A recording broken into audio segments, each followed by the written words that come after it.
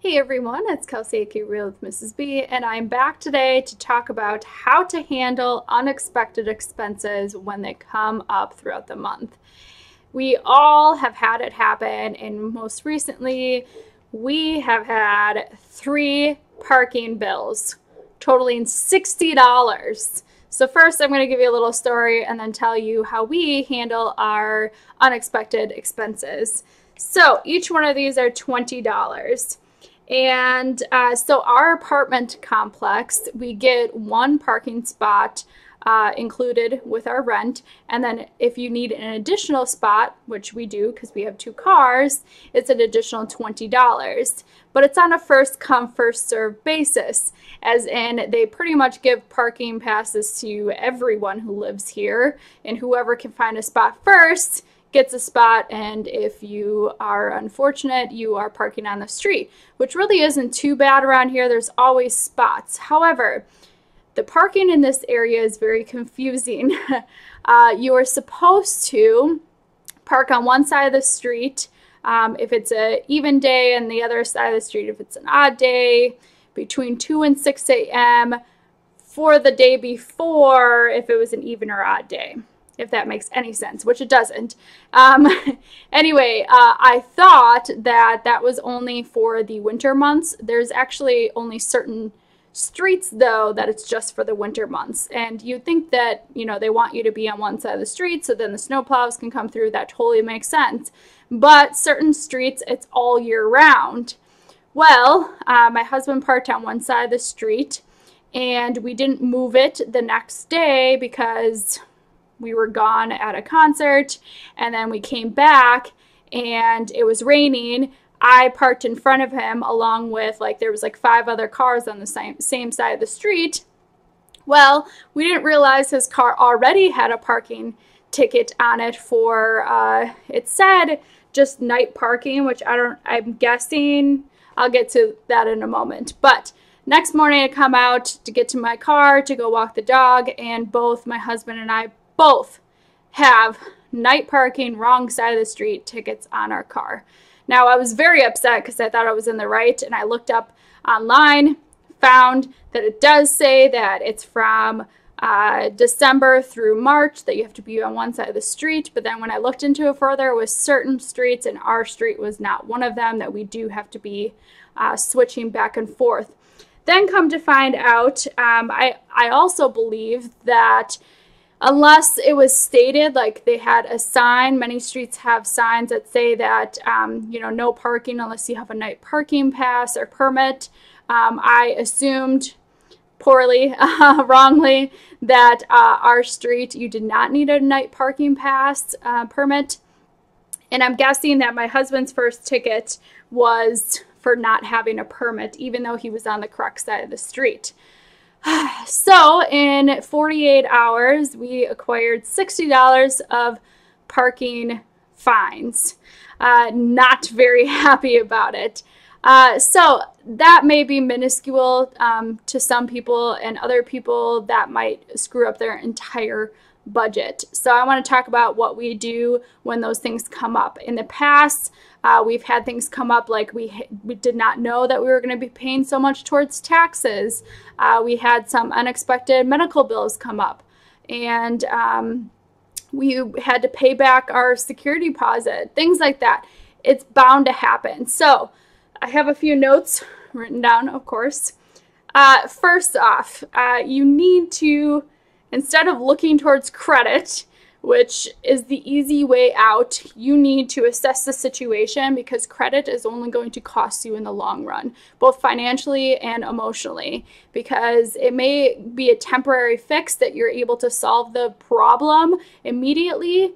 Uh, you're going to end up paying for it more in the future and then that's going to be hanging over you. So that's obviously not what we want to do. So uh, there's smarter ways to go about doing it. So we need to assess the situation. One, is it an emergency? In this case, it is not an emergency. We have time to pay for this. It's not something that needs to be immediately done. You need to address it, figure out if it is an emergency because you should have an emergency fund put in place. If you're following the Dave Ramsey plan, you should have $1,000. And even if you're not, it it helps out so much to have that money put aside. And it's actually quite interesting that even when you have that money, things that come up, you're like, you don't want to touch that money whatsoever. Even if you in the past would have thought that you needed to pay for that immediately, that it was an emergency, things now don't seem so much as an emergency anymore because there's other ways that you can rework your budget. Uh, so, once you decide if it's an emergency or not, obviously, if it is, you should dip into your emergency fund and then build it back up once you can pay for it. So, you're kind of paying yourself. If it is not a dire emergency, you should um, figure out if it needs to be addressed immediately. Is it something that you need to uh, rework this current budget, or is it something in the next you know few months that you can make sure to either save for or you can rework the next month's budget and be prepared at the beginning of the month for. If it is something that you need to address immediately, uh, for example, if this was due, you know, it's not due until July 9th, um, but if it were the beginning of June, it was due like the middle of June, I would have had to rework our June budget and um, the way I do that is make sure to take money from unnecessary, non essential budget categories. So, something like eating out or our sinking funds, which sinking funds are fantastic, but they're not essential, especially if we already have money put aside. Um, categories like that, that you can rework, take some money from, and put it towards what you need it for right now. Uh, you can always build those up later, but you need to address this situation first. If it is in the next month, which this is, uh, we did a couple different things. First, temporary fixes. Um, our temporary fix was we need to get a night parking permit. Um, so we had, when we re-signed our lease, we dropped that second parking spot uh, to save the $20 a month. And because my husband is now working till midnight, when you get home at like 12:30, there's like never a spot in the parking lot. So why should we pay $20 when he's going to most likely end up on the street anyway? So we're going to pay for the night parking permit, which is still less than paying $20 all year round. So our temporary fix right away was to buy that permit so we can avoid any parking uh, fines in the future. Then we needed to um, address this in the next month. Now we have a sinking fund set up for car expenses and that's what it can go into. But that's because we had a sinking fund set up. Otherwise i would take it from other categories. For example in june we did pay for that night parking uh, permit and it came out of our car fund and we had one over in that category and we ended up making more income so we were able to pay for it. So what can you do? You can get rid of non-essentials or you can get odds and ends jobs to pay for that right away. Something like i'm a dog walker. I went to care.com that's my extra little money that i get um, you can sell things now. Facebook has Marketplace. You can sell books at half price books. You can go on Amazon and sell things, eBay, things like that. Uh, get rid of non essential things. Um, so, sell things or rework your budget. If it is something that's not like a fixed price, uh, like your air conditioner, um, that you could get at multiple different stores, multiple different uh, variety of brands, things like that, you should then start searching for the best price. Um, maybe it is something that you can buy off of Amazon or eBay or do a price match or find um, a family member to buy something from somewhere that you can find the best possible price for it. And then if it's something that you need to do now, obviously rework the budget or increase your income. If it is in the future and you know how much the price is now, then you can start putting a little bit of money aside to help pay for that.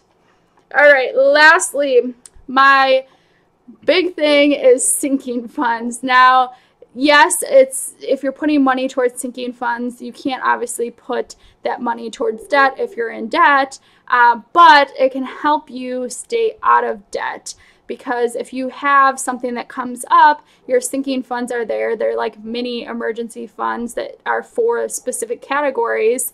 Now you have that money there to pay for those things instead of getting more in debt.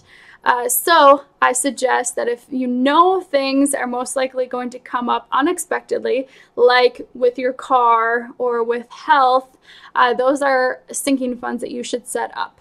So I suggest figuring out um, just a little bit that you can put aside into those funds just in case, and then you will be prepared for any unexpected expenses in the future. So if you guys have any more suggestions that I did not cover, make sure to put them down in the comments below. And remember that I am doing a video every day in July, so I hope to see you guys in the next one. Make sure to subscribe if you haven't done so already. And I hope that all of you have no unexpected expenses come up in July. I'll catch you guys soon. Bye.